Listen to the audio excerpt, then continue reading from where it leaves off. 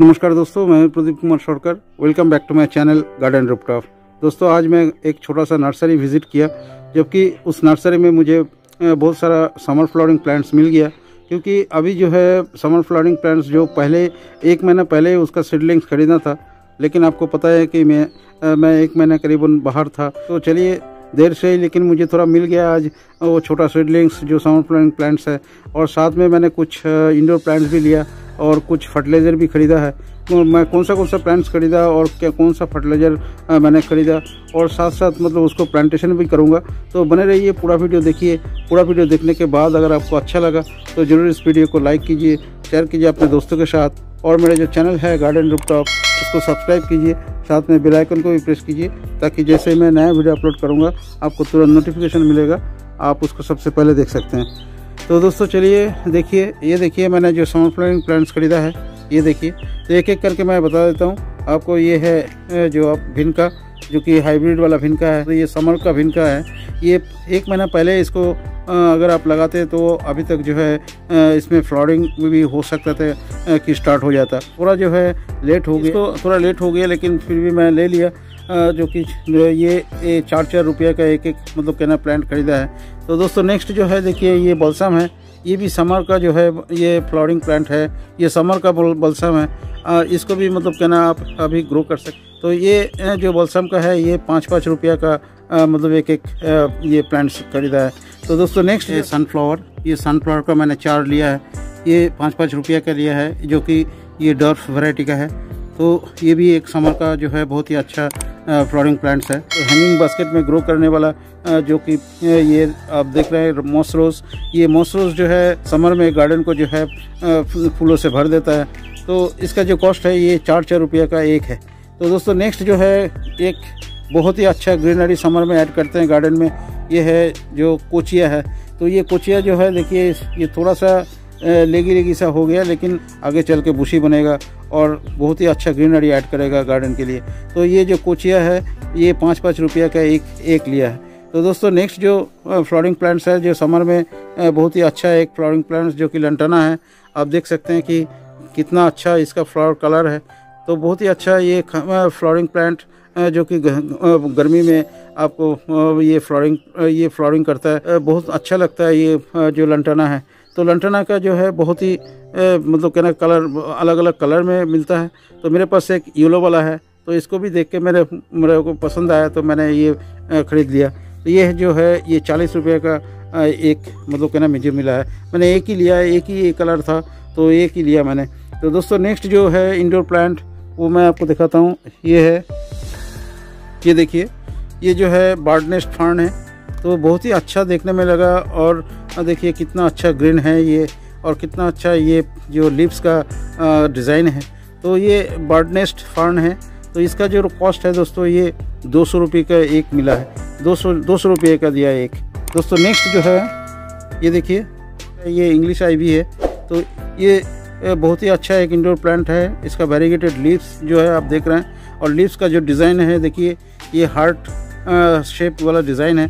तो बहुत ही अच्छा कलर और जो लिप्स है, ये बहुत ही मतलब कहना आपका इंडोर में जो है इसका ब्यूटिफिकेशन करते हैं। तो बहुत अच्छा कलर इसका जो वेरीगेटेड कलर है, देखिए, और देखने में बहुत ही अच्छा लगता है। ये इंडोर का प्लांट है, ये शेड शेड लविंग प्लांट्स है।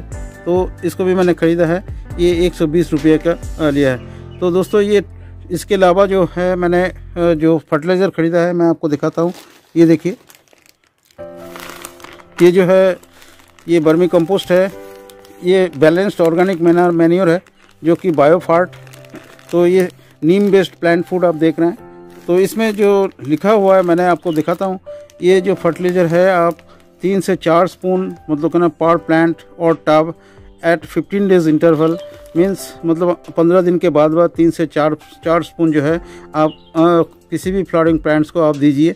और देते टाइम इतना ध्यान रखिए कि कम से कम जो है पंद्रह सेंटी, पंद्रह से बीस सेंटीमीटर जो स्टेम से दूर मतलब इसको अप्लाई कीजिए और रेगुलर बेसिस पे वाटरिंग कीजिए, जो कि इंस्ट्रक्शन में ये लिखा हुआ है। इसका जो है ये एक के का है, एक के का जो रेट है ये सिक्सटी रुपीज़ का है। दोस्तों नेक्स्ट जो है, मैं आपको दिखाता हूँ। नेक्स्ट जो है दोस्तों ये ये फर्टिलाइज़र तो नहीं है, लेकिन ये जो है कोकोपीट है ये कोकोपीट मतलब बहुत ही अच्छा एक soil mix soil mix soil media है।